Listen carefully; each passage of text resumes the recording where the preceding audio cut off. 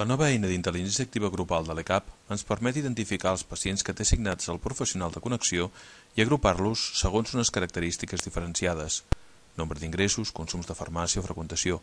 Un cop identificats, els agrupa en grups diana que ens mostra en forma de llistats per tal de facilitar al professional l'accés a les seves dades.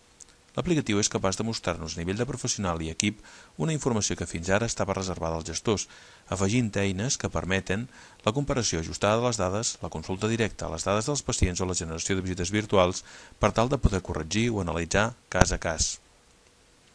Per tal d'accedir a l'eina, caldrà prémer el botó del marge superior dret de la pantalla de l'agenda de treball en forma de lletra gamma amb una G dins un cercle vermell. Aquest botó ens conduirà a una pantalla que ens mostrarà dues finestres, una finestra principal a l'esquerra i una segona de detall a la dreta. La finestra principal ens mostrarà informació sobre la població que el professional té assignada, l'assignada atesa i la seva cobertura. També ens mostrarà la informació sobre la freqüentació del metge i de la infermera de l'UBA, així com la despesa farmacèutica per pacient, la població que ha ingressat els darrers 12 mesos i la població segons els estats de morbiditat, estats de l'1 al 9. Per a cada ítem es visualitzarà el valor observat l'esperat ajustat per edat, sexe i morbiditat, i el rati entre l'observat i l'esperat. Fent clic sobre cada indicador esmentat, farem canviar la pantalla de detall de la dreta. La pantalla de detall ens mostrarà a la part superior un gràfic amb la situació de tots els professionals del mateix equip. L'eix de coordenades ens mostrarà les dades de cada col·legiat del centre, amb el seu interval de confiança, essent el de color rosa el que li correspon al professional de connexió.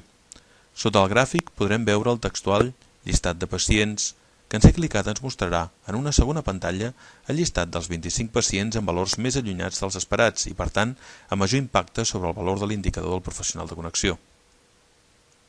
En clicar sobre algun nom del llistat obtingut, podrem accedir a les dades clíniques del pacient de l'entorn col·laboratiu de l'ECAP. Un cop dins la història clínica del pacient, podrem consultar i analitzar les situacions concretes del pacient que expliquen el valor observat, corregint-los si fos necessari. Si en lloc d'accedir a la història del pacient volguéssim programar una intervenció o consulta diferida a l'ECAP, també i des del mateix llistat ens podrem generar una visita virtual o no presencial. La darrera part de la pantalla de detall ens permet visualitzar les taules de risc de l'indicador.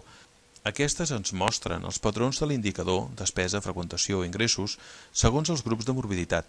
La taula esquerra ens mostra els patrons esperats, mentre que la taula dreta ens mostra les diferències observades respecte a l'esperada. Si volem fer mesures proactives sobre els pacients d'aquests grups, només caldrà fer clic sobre la casella desitjada i ens mostrarà en una segona pantalla els llistats de pacients en aquesta situació.